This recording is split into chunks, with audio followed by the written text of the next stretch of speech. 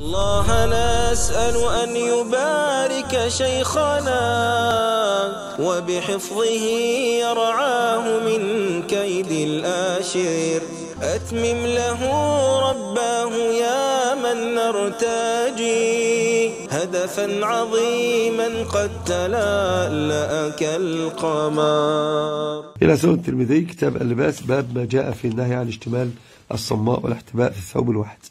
قال المصنف رحمه الله تعالى حدثنا قتيبة قتيبة بن سعيد البغلاني قال حدثنا يعقوب بن عبد الرحمن الإسكندراني قال حدثنا سهيل بن أبي صالح. طبعا هذه سلسلة مشهورة. عن أبي هريرة رضي الله عنه وأرضاه أن سيد سبع أن النبي صلى الله عليه وسلم نهى عن لبستين الصماء وأن يحتبي الرجل بثوب ليس على فرجه منه شيء. نهى عن لبستين الصماء وأن يحتبي الرجل.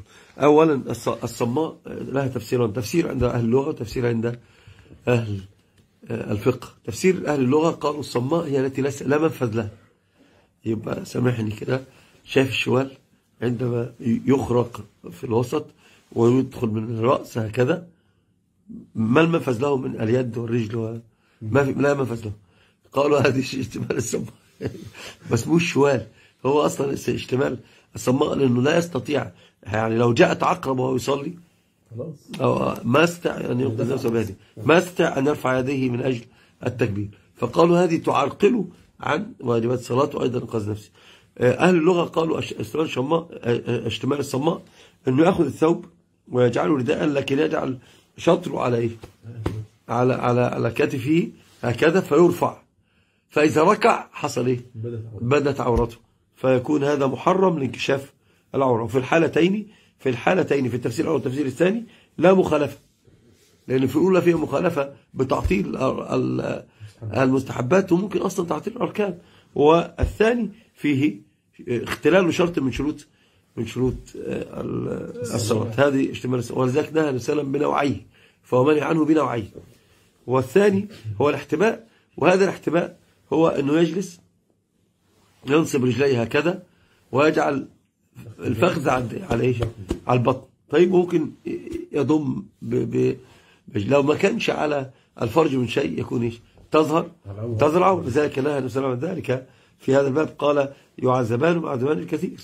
ففي في, قل... في في كثير. بل هو كثير. ثم بين أن الآخر كان لا يستتر. الأولى يستنزه في الرواية الثانية قال لا يستتر من إيش؟ من بول. فهنا تنكشف العورة. النبي صلى الله عليه وسلم نهى نهى أن أن أن أن يستلقي المرء. معناه دخل عليه وجدوه إيش؟ مستلقيا. لكنه كان وضع إيه؟ الرجل على الرجل. وضع رجل ووضع رجل على رجل معناها أنه لا يظهر ما تحته.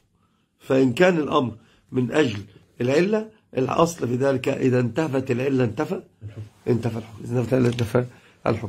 ففي قول نهى رسول الله صلى الله عليه وسلم عن دستين وعن بيعتين في الصماء أن يجعل ثوب على عتقيه فيبدو أحد شقيه. نعم. والاحتباء كما قلنا أن يجلس هذه الجلسة التي تظهر العورة.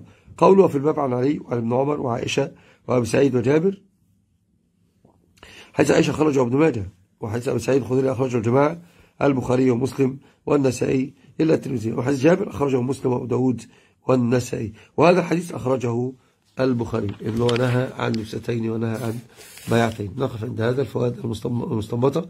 الأصل في النهي التحريم. العمل بسد الذرائع. فين بقى العمل بسد الذرائع؟ فين الفائدة دي يا شيخ؟ أنه قد تكشف عورته فائدة ثالثة أنا بفكر فيها. كنت دايما. آه. أن الشرع أتى بحفظ الأبدان وكل يعني كل منها الشريعة. آه. الصماء آه. عقرب غير ذلك ممتاز. هو أصلا أنا بفكر في فائدة أخرى أهم وهو أنه حديث جاء من رواية أخرى نهى عن لبستين وعن بيعتين. فهذه فهنا الارتباط بين العبادات وبين المعاملات. المعاملات في هذا الباب. فيها أن الأصل في النهي التحريم سواء كان في العبادات أو في المعاملات. في المعاملات. أما الحنفية لهم إيش؟ لهم خلاف في ذلك خلاف الجمهور. هذه الفائدة الثالثة. ولشيخنا همة علت الثريا فنالت من فنون ولشيخنا همة علت الثريا فنالت من فنون الدين ريا. نقيا فذا فقه كسقي الماء كانا وتلك عقيدة السلف النقيا. وتلك عقيدة السلف النقيا. فأخلص نية ربي وبارك على شيخ نبيل الخلق والضاح المحيا.